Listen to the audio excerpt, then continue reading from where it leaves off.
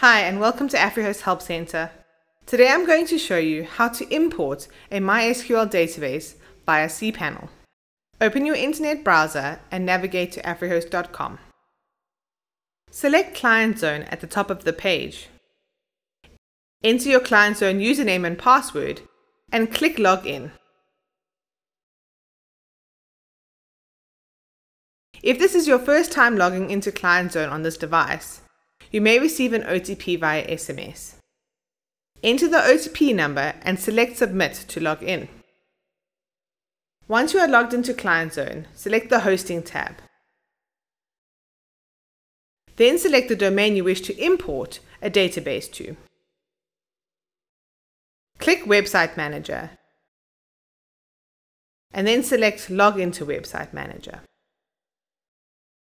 The cPanel dashboard will load. In order to import a database, you must first create an empty database. The empty database is where you will import the SQL backup file into, and then you need to create a database user. In cPanel, scroll down to Databases. Select MySQL Database Wizard. Step 1. Enter a desired database name and select Next Step to proceed. Step 2. Create a database user. Enter your username. Enter a strong password and type it again to confirm it.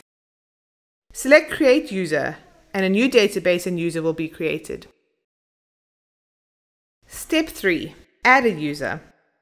As this is the main user account, you may wish to grant it all privileges by clicking the All Privileges checkbox. Select Next Step to complete the process and the new user will be added to the database. Select Return Home to go back to the cPanel homepage. Now to import the database, scroll down to Databases and select phpMyAdmin. The phpMyAdmin page will load in a new window.